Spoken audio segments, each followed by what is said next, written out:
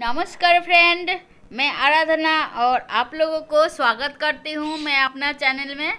तो ये देखिए, पूरा सामान बिखरा हुआ है और हमारे घर में आज हो रहा है पेंट।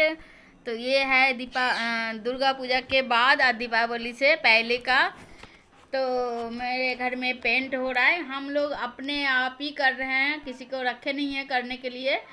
तो देखिए, ऐसा पेंट हुआ है। दो कलर है दो दीवार में ऐसा कलर, एक कलर और दो दीवार में एक कलर। तो ये बाहर वाला, छोटा वाला रूम का है ये, पेंट हो रखा है। कंप्लीट हो गया साफ़ सफ़ाई हो गया, सामान भी रख दिए। अब सामान का थोड़ा साफ़ सफ़ाई ये टेबल थोड़ा साफ़ है, सफ़ाई करना है।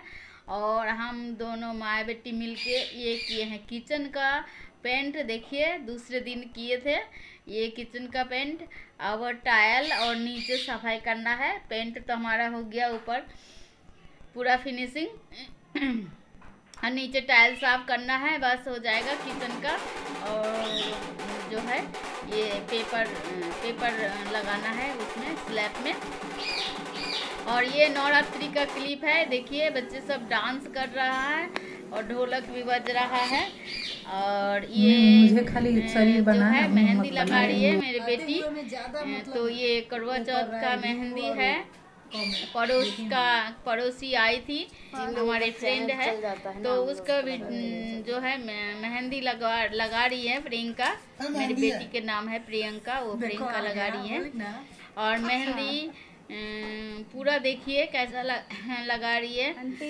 और मेहंदी अगर अच्छा लगता है आपका डिज़ाइन अच्छा लगे लगा होगा तो इस मेरे बेटी के लिए ही आप लोग एक लाइक कर दीजिएगा प्लीज़।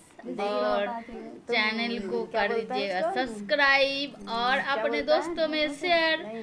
तो इतना मेहनत करने का फल तो थोड़ा सा शेयर और सब्सक्राइब और लाइक तो बनता ही है। खुश होते हैं उसके पापा तो आप लोग आगे बढ़ाइए और इससे भी अच्छा अच्छा वीडियो मैं लेके आने का कोशिश करूँगी।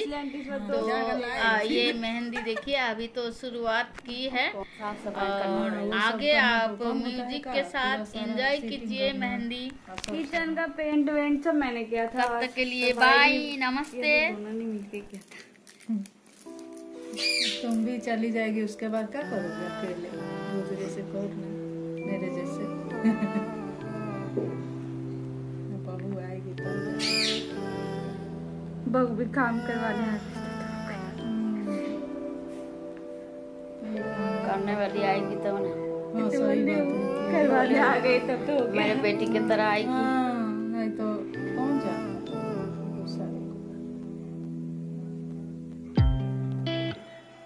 चले अच्छी नहीं लगी आगे वाला तो ले ही लिया हूँ दस बार आगे वाला लेते रहूँगी दोनों हाथ को लो। लगा अब रुक गया वीडियो बनाने लगी तो। अच्छा रुक मेरे को तो लगा फ़ोटो खींच रहे हो।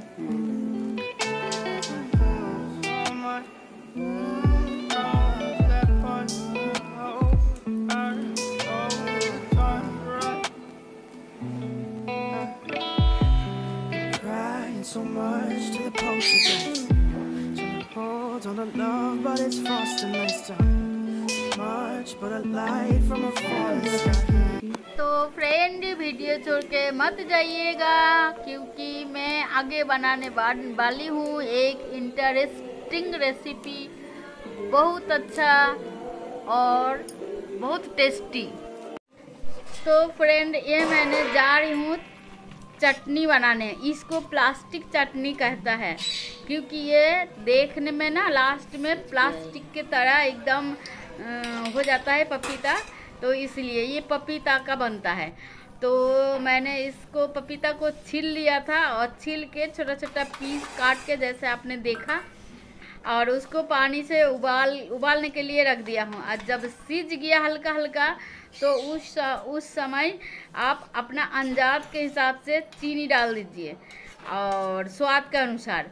जैसे मीठा आप खाना चाहते हैं, उस हिसाब से चटनी में जैसे मीठा खाना चाहते हैं आप, उस हिसाब से चीनी डाल दीजिए। और इसको पकाते रहिए।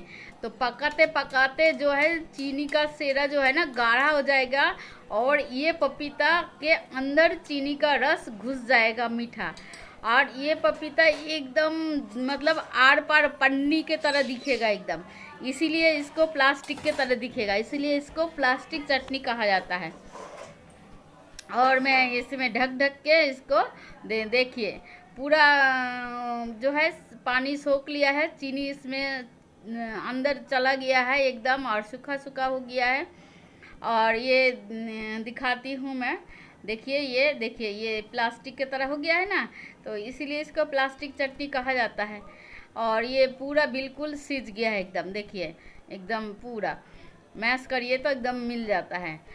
और ये देखिए, प्लास्टिक की तरह निकल रहा है ना लास्ट में, इसलिए इसको प्लास्टिक चटनी कहा जाता है। तो ये एकदम चीनी के सेरा अंदर घुस गया है और ये उबल गया है अच्छी तरह से। तो इसमें अब आप अमचूर पाउडर भी मिक्स कर सकते हैं। या तो इमली के पल्प, इमली को फुला दीजिएगा पानी में और उसके बाद उसको पल्प निकाल के बीज फेंक के और उसको भी इसमें डाल सकते हैं। लेकिन मैं इसमें नींबू के रस डालूँगी। नींबू के रस से ना थोड़ा देखने में इसी तरह रहता है। ये मैंने ले ली हूँ नींबू और काट ली हूँ हाफ़ हाफ़ करके और ये नींबू के रस निकाल ली हूँ। पूरा दो नींबू के रस मैंने निकाली हूँ। और इसमें मैं डाल दूँगी। आप अपना खटाई के हिसाब से डाल सकते हो। जितना खट्टा आप खाना पसंद करते हैं, उस हिसाब से इसमें डाल सकते हैं। और उसके बाद इसमें काजू किशमिश आप दे सकते हैं फ्राई करके। बादाम जो भी, जो है ना, सूखा मेवा देना चाहते हैं, आप दे सकते हैं। मैं तो कुछ नहीं दिया हूँ, मैं घरेलू टाइप के बना रही हूँ, मुझे ऐसे ही अच्छा लगता है। और आप दे दीजिएगा, पेन खजूर भी दे सकते हैं, इसमें खजूर भी दे सकते हैं। तो टेस्ट बहुत दुगुना बढ़ जाता है। खजूर देने से टेस्ट बहुत अच्छा बढ़ जाता है इसमें। और इमली के पल्प और खजूर जो छोहारा बोलता है जिसको, उसको बीज निकाल के गुद्दा गुद्दा काट के आप दे सकते हैं। तो देखिए हमारा चटनी बनके तैयार हो गया। तो ये चटनी आप बनाइए, खाइए अच्छा लगा, लगेगा। तो हमारा चैनल को ज़रूर शेयर कीजिएगा और सब्सक्राइब कीजिएगा और लाइक कर दीजिएगा।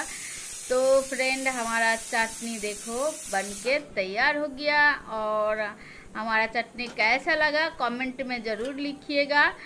और तो आज के लिए फिर से मैं वीडियो यहीं तक लास्ट करती हूँ और आगे आपके दूसरा कोई नया वीडियो लेके आऊँगी। तब तक के लिए बाय नमस्ते खुश रहिए और सुखी रहिए।